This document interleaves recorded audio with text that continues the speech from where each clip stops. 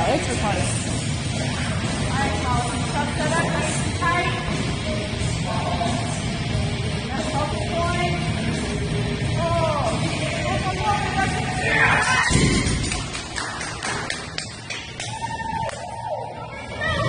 I think I die for you. Jodeci cry for you.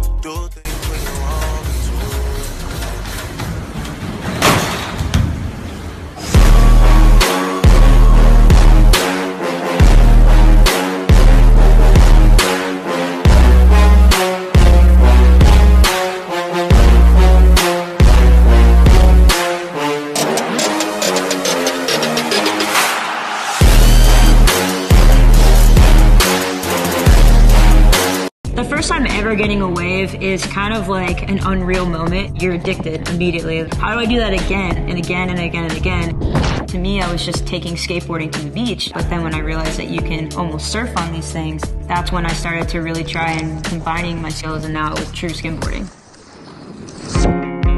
Losing everything is almost the best way to recreate yourself. You telling me I can't do something just gives me even more focus to keep trying. There's so many people out there that are so good at skimboarding. I would challenge myself, going for every big wave that I could. I'm out there producing and editing videos all the time alongside of skimboarding. The biggest thing for me is finding that balance between work and your everyday life. So I always try and get out there and watch the sunset. That was the one thing that I needed to focus on. As long as I was trying to be the best version of myself, that I was going to make it.